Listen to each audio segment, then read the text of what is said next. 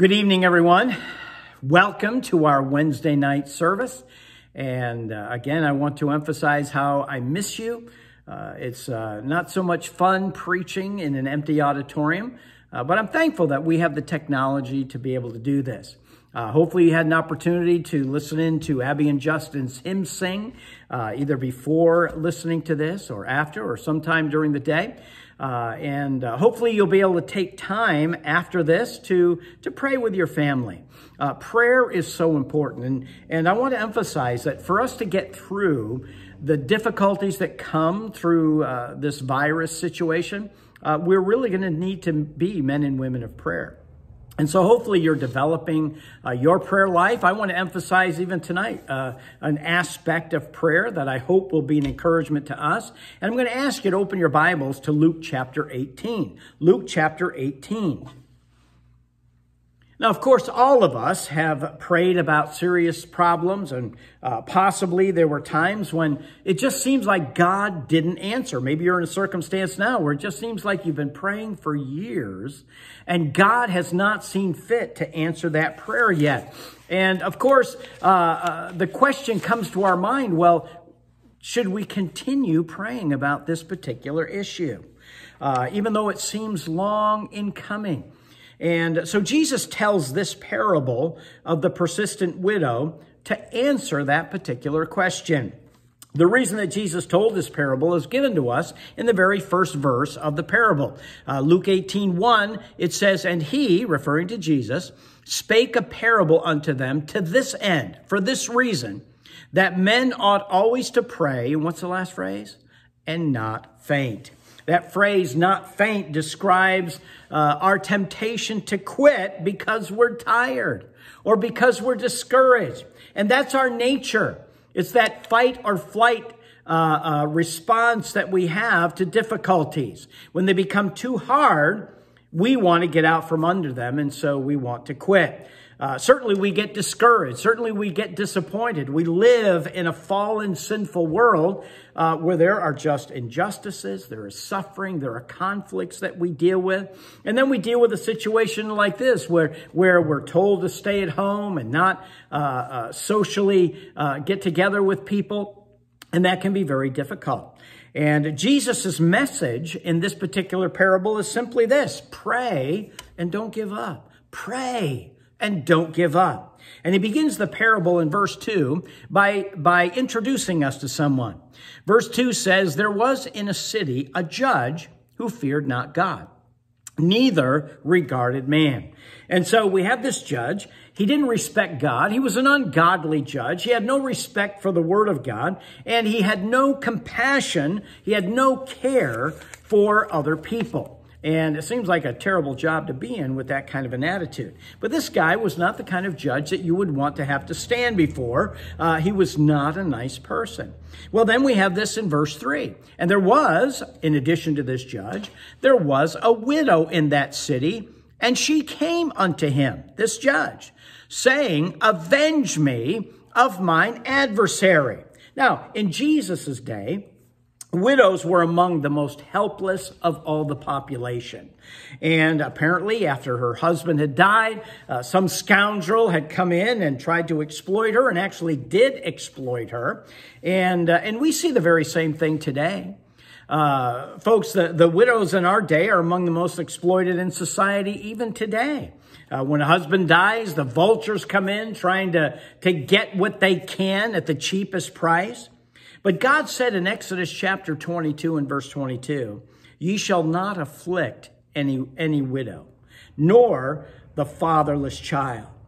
Now, the unjust judge here, though, he had no concern for the plight of this poor widow. Uh, he could care less uh, what she was going through. And then beginning in verse 4, it even says, And he would not for a while. And what that means is, is that there was a time that he refused even to listen to her. He would ignore her. He, he would not give justice in her case. He just didn't want to be bothered. Her pleas would, would repeatedly be met with rejection. But let me tell you something that she had in her favor. The fact was is that she refused to give up. Uh, she, she continued to make her request before this judge because really persistence was her only resource. And sometimes God brings us to that point, right? We, we are so self-sufficient oftentimes that God has to bring us to the point where all of our resources are exhausted and the only thing we can do is to pray persistently. Well, that's where this woman was. Realizing that the woman was not going to leave him alone, we're told in verses four and five, but afterward he said within himself, though I fear not God, neither or nor regard man, Yet because this widow troubleth me, I will avenge her, lest by her continual coming she weary me.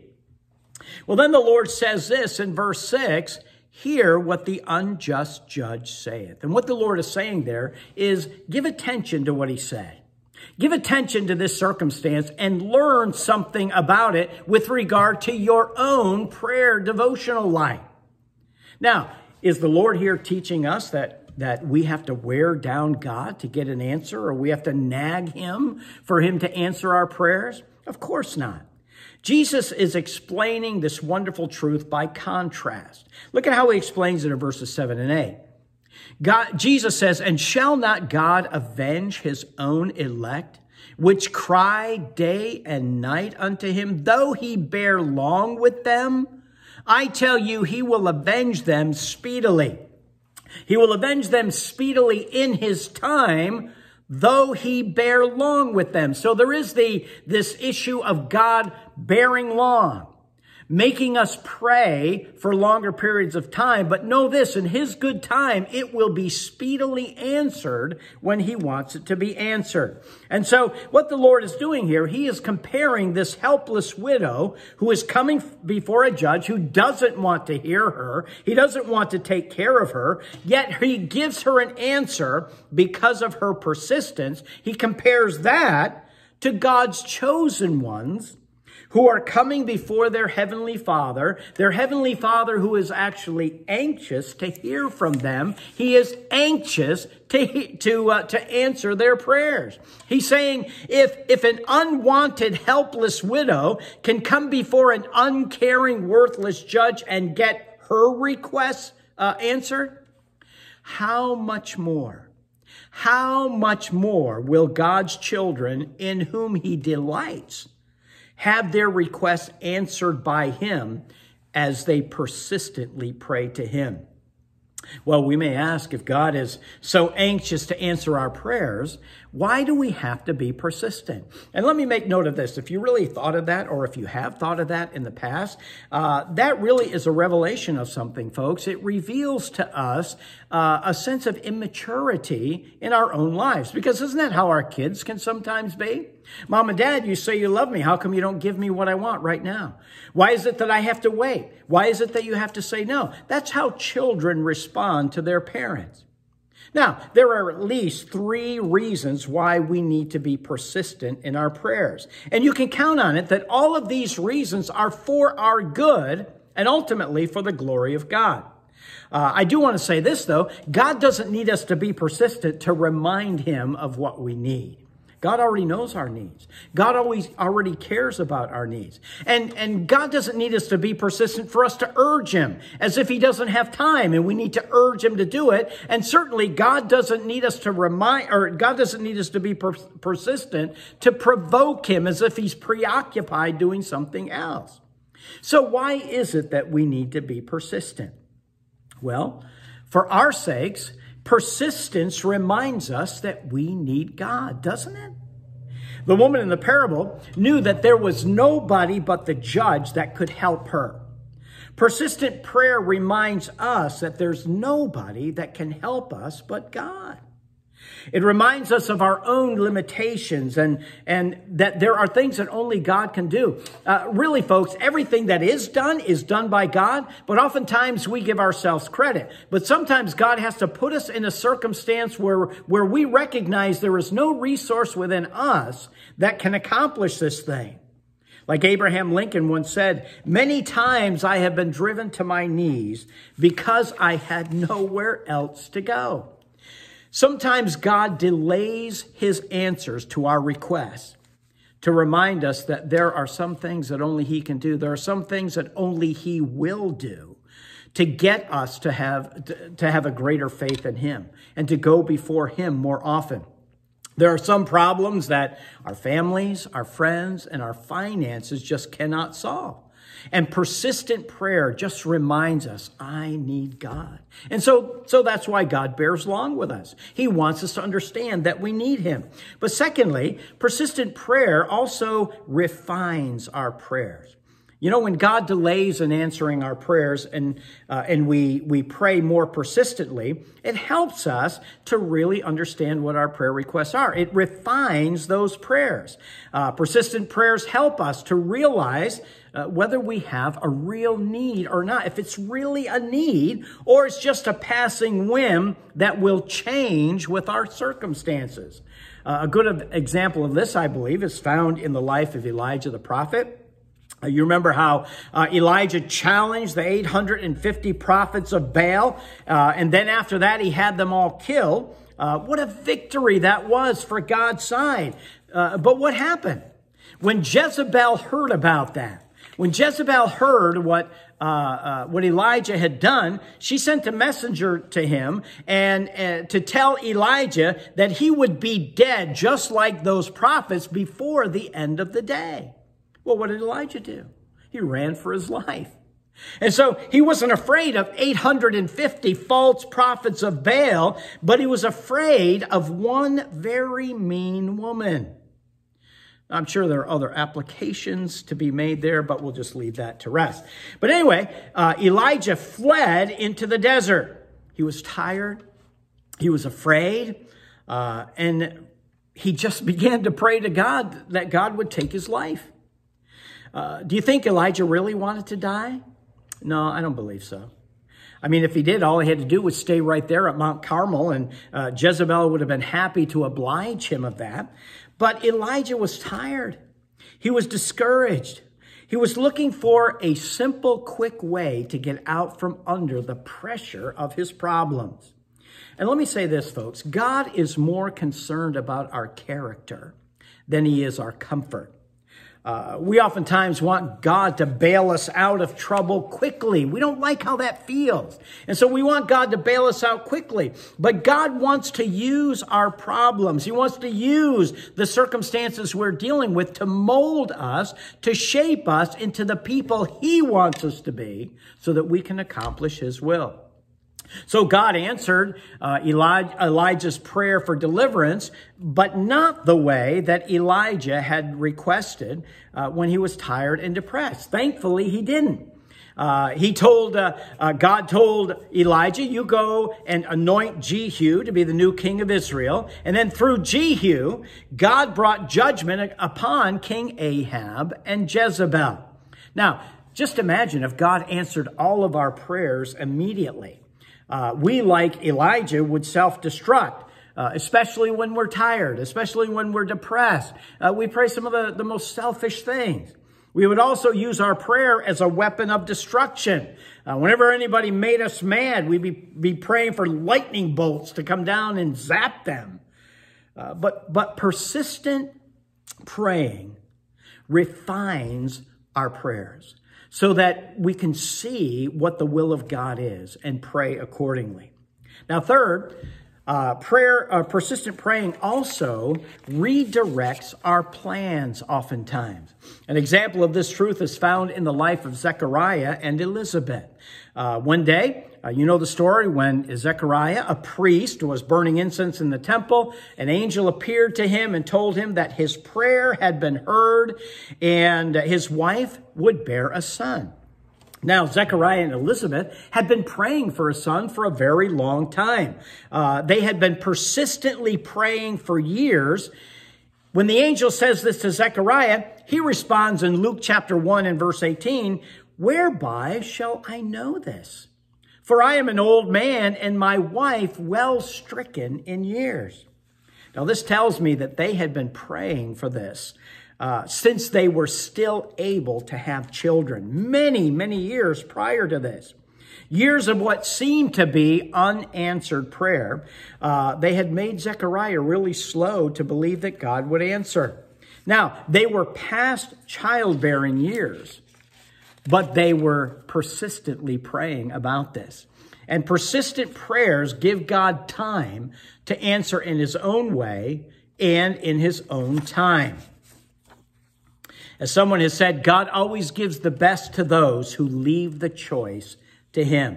Now, sometimes uh, God delays answering our request because he has something better in mind. Uh, suppose God had answered Zechariah and Elizabeth's prayers with a son when they first asked, when they were still able to bear children.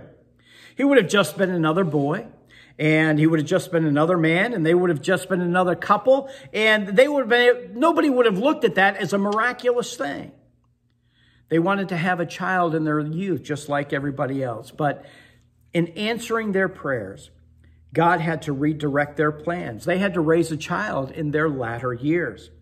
God answered later but folks, didn't he answer better? God had a proper plan, and it wasn't according to the plan that Elijah or uh, that uh, Zechariah and Elizabeth had. And folks, God has a good reason for every time he delays our prayers. He has a good reason for everything. Everything that he does, folks. He everything that he allows for every, and, and just how long he allows it. Jesus told this story of the persistent widow to teach us that we should always pray and faint not. He also emphasizes this in Luke chapter 11 and verse 9, where he says, Ask, and it shall be given you. Seek, and ye shall find. Knock, and it shall be opened unto you. Now, those verbs ask, seek, and knock, of course, they make an acronym that's kind of interesting ASK, right? Ask. Uh, but they're also present tense verbs that denote continuous action. And so, what the Lord is saying in that, in that, in that verse is you need to keep on asking, keep on seeking, and keep on knocking. Are you dealing with financial difficulties? Keep on praying. Don't quit. Are you dealing with family problems? Keep praying. Don't quit. Are you depressed and discouraged? Just keep praying. Don't give up. God cares about your cares. He will answer them speedily, though he bears long with you. Jesus ended this parable by asking this question at the end of verse 8. he says, Nevertheless, when the Son of Man cometh, shall he find faith on the earth? Praying in faith, folks, doesn't mean getting the answer right away or that we get what we ask when we ask for it. Praying in faith means that we trust God with the answer and we leave the timing to Him. That's faith.